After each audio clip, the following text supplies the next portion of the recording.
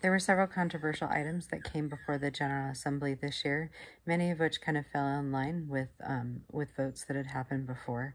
So, for example, the Israel-Palestine vote, um, the Assembly voted 266 to 116 to approve one of the most controversial items, INTO 2, um, which declared that the PCUSA recognized the laws and policies and practices of the Israeli government regarding the Palestinian people as, quote, fulfilling the international legal definition of apartheid.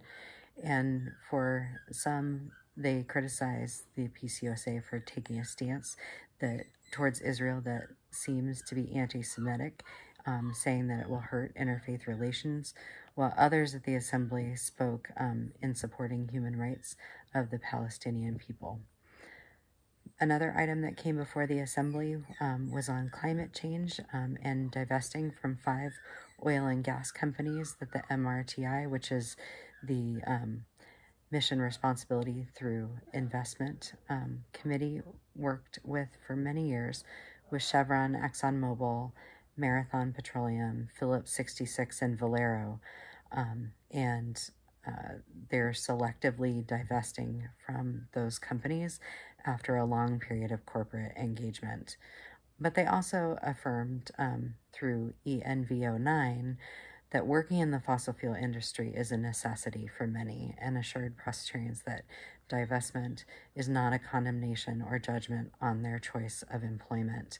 Um, this has been a long time um, effort of the MRTI and um, that has resulted in the divestment of um, the denominations' financial resources um, from those companies. Um, there was also um, some things that were very timely.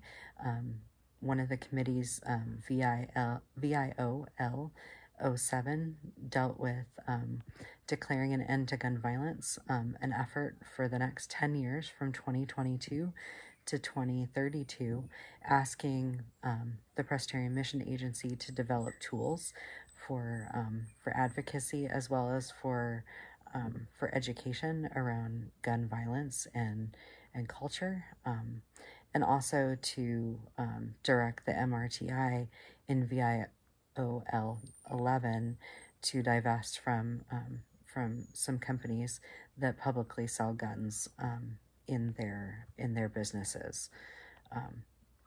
so they're going to um, not divest from them immediately, but begin that process of corporate engagement with companies such as Walmart and Dick's Sporting Goods and Kroger's and three other companies um, to work with them on that issue.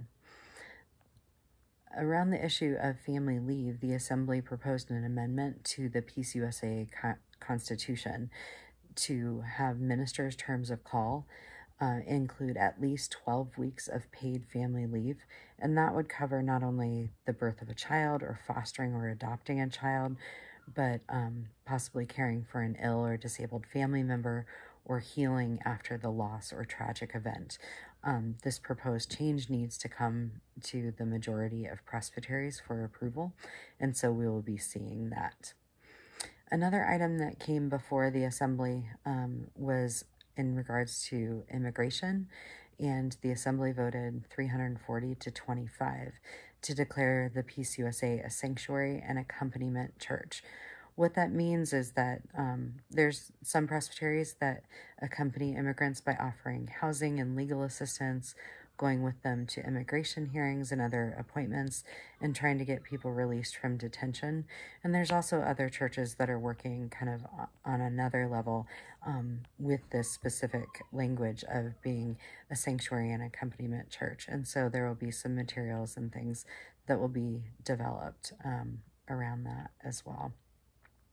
Um, there were um, other um, kind of uh, groups that have been formed. So there's a new GLBTQIA Equity and Advocacy Committee. Um, there's also a, a, special committee that will be formed. Um, it's actually going to be a commission um, uh, that will act to merge both the Presbyterian Mission Agency, uh, which is PMA, um, and the Office of General Assembly, which is OGA, into one single agency. It's basically restructuring everything at the top level of our denomination into one agency. Um, they're looking at ways to kind of streamline things, but also help those groups work better together.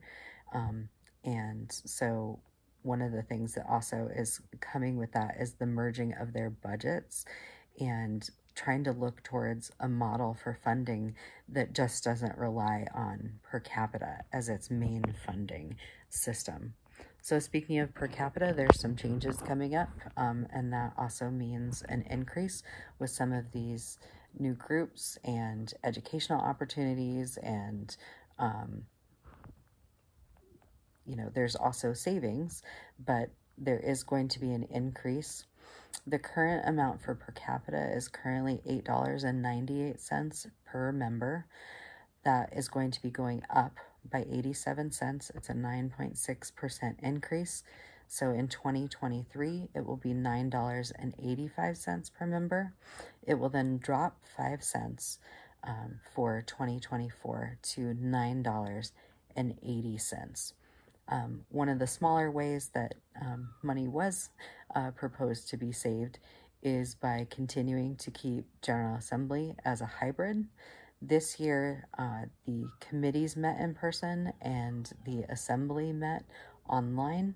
For next General Assembly, which will be in 2024, it'll be held in Salt Lake City. Committee meetings will be online, and plenary or the large assembly will be in person. So those are some major changes that are coming up. Um, and there's also some things that will be in the works for a longer period of time. Um, a group uh, will be looking at the possibility of forming a new uh, confession. There's also um, a lot of smaller affinity groups that are are being formed, and so if you want to serve on any of those different groups, you can go um, to the information about General Assembly and look at joining um, one of those committees or nominating someone for one of those committees as well.